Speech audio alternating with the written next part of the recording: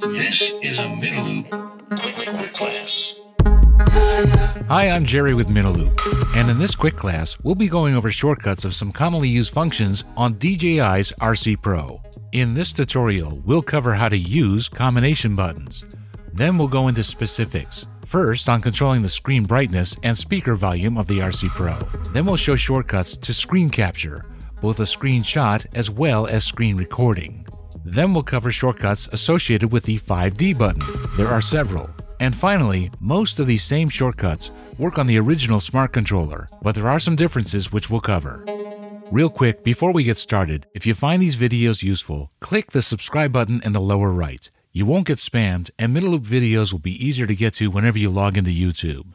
And of course, as always, if you have suggestions for future videos, please leave a comment below. Now, let's get started. The shortcuts that we're going to be covering in this video are activated by pushing a combination of buttons, or by pushing one button and using a dial. The buttons and dials covered in this video are either on the front of the RC Pro or on the top. There are a couple buttons on the back, but as I mentioned earlier, those are programmable and we'll cover those in a separate video. Every shortcut we cover today will start with holding down the back button. The back button is located in the upper left corner of the RC Pro. Push and hold it down, you'll hear a short chirp, and while holding it down, you'll push the second button or use one of the dials to activate the function. Incidentally, if you'd like to print out a cheat sheet of the various combinations, it's in the RC Pro's manual. I'll add a link in the description below to DJI's online manual and take you to that page. It's currently on page 18, and I'll update the link in the description if that changes in the future. The first shortcuts we'll show will allow you to adjust the screen brightness and the speaker volume of the RC Pro.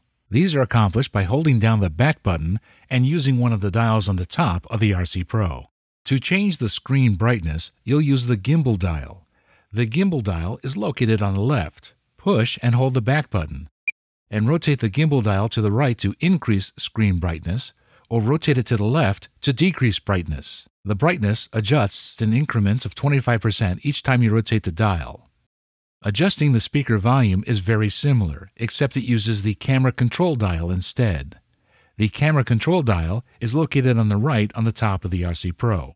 Push and hold the back button and rotate the camera control dial to the right to increase speaker volume, or rotate it to the left to decrease volume. The volume adjusts in 20% increments each time you rotate the dial, with all the way down being muted. Incidentally, changing the volume will only affect those voice messages, like this one. The home point has been updated. Please check it on the map. It will not affect those loud warning beeps that can occur when the battery is running low or the aircraft is returning to home. Now let's capture the screen using shortcuts. To capture the screen, which is a still image of whatever is being displayed on the screen, push and hold the back button. And, while holding the back button, push the shutter button. When the screenshot is taken, you'll hear a sound and the screen will briefly display the image that was captured. Next, let's show the shortcut to capture the screen as a screen recording. The screen recording is a video of the RC Pro's screen from the time you start the capture until you end it. To start a screen recording, push and hold the back button, and push the record button. When you start the screen recording, you'll hear a sound, and a timer is displayed at the bottom of the screen with a stop button. To stop the recording, you can either tap the stop on the screen or hold the back button and push the record button again. If you'd like to see a video that goes into details about screen captures, including how to review them on the RC Pro and how to transfer the files to your computer, I'll pop up a link at the end of this video to that video. There are a number of other shortcuts that can be activated in combination with the back button and the 5D button. The 5D button is located on the front of the RC Pro, and it's kind of like a little joystick. It rocks to the left and right, up and down, and it can also be clicked in the center. First, let's demonstrate the shortcut to quickly navigate the RC Pro to the home screen. Push and hold the back button, and then rock the 5D button up. The home page is where you'll find shortcuts to all the apps on the RC Pro. Now let's show the shortcut to the Shortcuts Settings screen. Push and hold the back button, and then rock the 5D button down. The Shortcut Settings screen has a lot of different functions, including enabling and disabling Wi Fi and Bluetooth, as well as screen recording and screenshots. Incidentally, earlier, when we went over the shortcuts for screen brightness and volume control, it only adjusted in fixed increments, but here you have much more control by dragging one of the sliders to the left or right. Now let's show the shortcut to Recent Apps. Push and hold the back button, and then rock the 5D button to the left. This is a great way to quickly get back to an app that you were recently on. If you'd like to close one of those apps, drag it upwards, or to reopen it, just tap on it. The shortcuts on the first generation, known as the DJI Smart Controller, are very similar to the newer RC Pro. In fact, the only thing that we've gone over so far which is different is the shortcut to the home page. Both the old and the new controller go to the home page by holding down the back button and rocking the 5D button up, but now the home page is different. It's what they used to call the App Center and you used to get to the App Center by holding down the back button and rocking the 5D button to the right.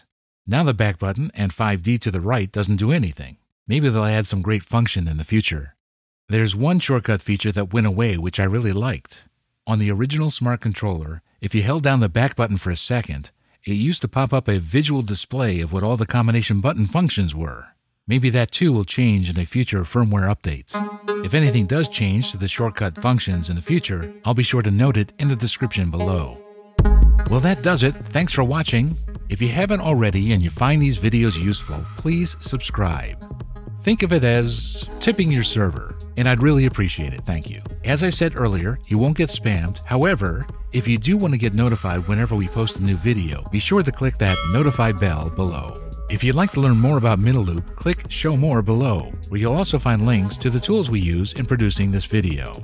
On the left is a link to the video I mentioned earlier that goes into details about the screen captures, and the link on the right is something else I thought you might enjoy.